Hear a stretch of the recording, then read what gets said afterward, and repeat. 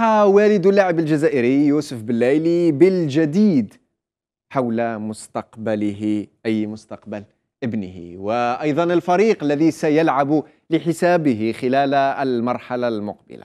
قال عبد الحفيظ بلايلي أنه سيفصل هذا الأسبوع في هوية الفريق الذي سيلعب له يوسف الموسم المقبل.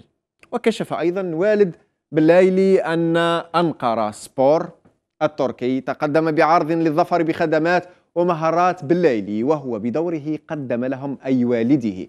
قدم لهم المطالب المالية ومنحهم مهلة للرد. والد بلايلي يقول أيضا أن نادي الشارقة الإماراتي يريد يوسف.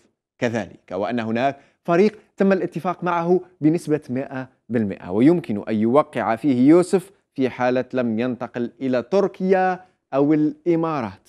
تحدث والد بلايلي عن بعض النوادي التي تريد ابنه أيضا. فأوضح أسماء كل من شباب بلوزداد ومولودية الجزائر والرجاء والوداد وحتى طرابزون سبور.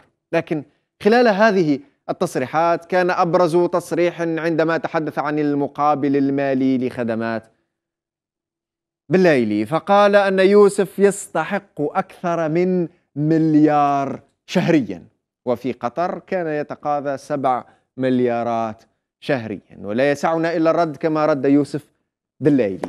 التعليقات نبدأ بعزيز الذي كتب بالليل يمر بلحظة غير منتظرة وإشاعات خطرة كمال قال عنده الصح في المبلغ اللي طالبه بينما كريم يقول الحقيقة أنت اللي ضيعت ولدك من أجل المال. محمد كتب ولماذا غادر الدوري القطري؟ يكن لبس عليه واش يزيد يدير بالدراهم؟ لكن نقطة نظام اللعب الليلي غير منضبط. ولو كان كذلك لوجدناه في أحسن الفرق العالمية.